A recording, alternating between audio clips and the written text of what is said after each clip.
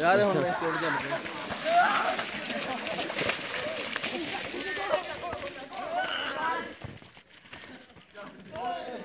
ਆਖਰ ਦੀ ਗੱਲ ਬੜੀ ਭੱਜ ਗਈ ਆ।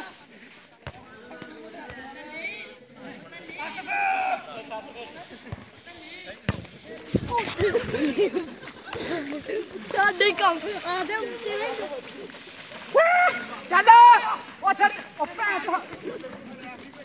你几点？打开打开